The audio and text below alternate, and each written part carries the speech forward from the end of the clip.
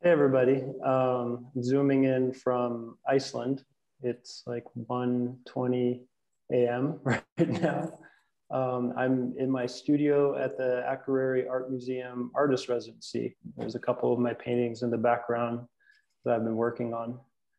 Uh, this fire dancer painting, uh, I made it at my studio in Brooklyn this fall. And I've been living in New York City now for about eight years. And I think the pandemic first kind of dawned on me.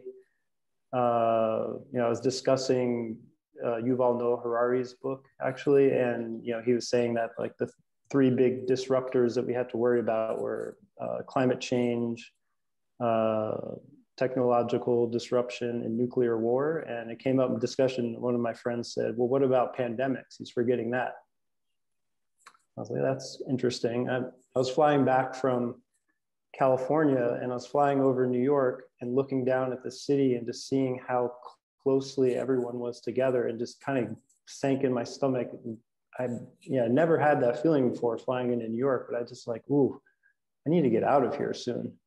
Um, and then, you know, of course, in in January, watching, you know, the images of people being sprayed and hazmat suits coming off planes I was like, oh boy. Uh, and then, you know, started watching things in February. And, and as soon as that, like, you know, and isolating and making a plan to actually get out of New York. And then uh, when that thing in New Rochelle happened and they were isolating that area, I, I got out of town immediately with my dog and went to my parents' place in North Carolina and started gardening and got chickens and um, so I was hanging out there for a while and uh, you know, I'd already kind of like changed my uh, postage to be forwarded. And I, I don't know, I had a sense that things will be better at a certain date. And it just coincided when I came back perfectly.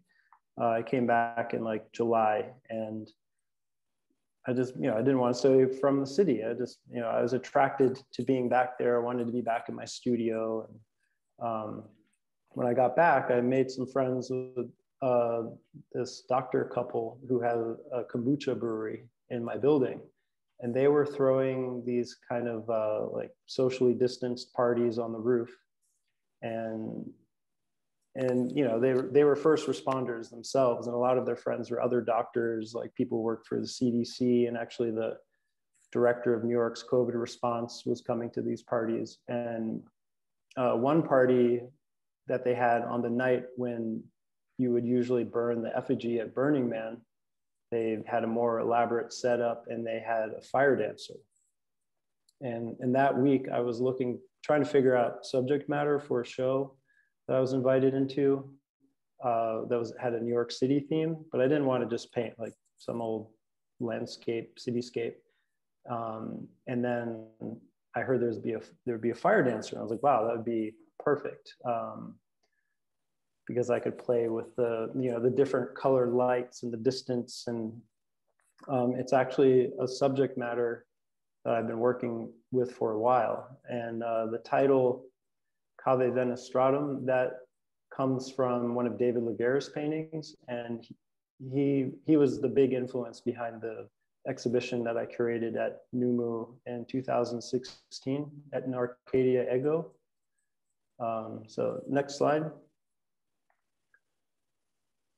And just to give a little historical context of my interest in working with fire, um, for a long time I've been painting water. And you know, water is interesting in all the paint. The forms are so varied and organic, but I noticed the same forms would happen in, in fire also. But it was different because instead of you know light falling on the form the form is giving off the light. And that was an interesting challenge to paint. And so i started by painting hillfire things and had some exhibitions with them. And the long beach art museum ended up acquiring one. Here's a picture with me and ron nelson. Um, there was a, a show of new acquisitions in 2014 uh, next slide and then, uh, but I also paint figures. In the background, you see there's a figure in the landscape.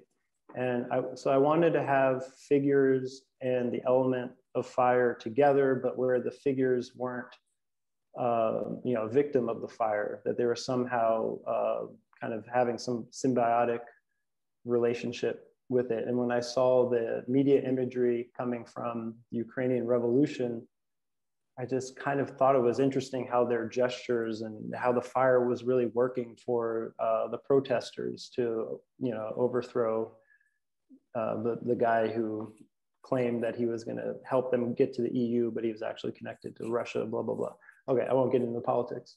But I, you know, I wasn't really into the politics. That's the point. I was really just into the figures being close to the fire, and and that as a uh, a problem to it to approach with painting. Um, and then I also saw around that same time I was making all, all those paintings um, I saw a fire dancer at a party in Miami at Al Capone's uh, former villa.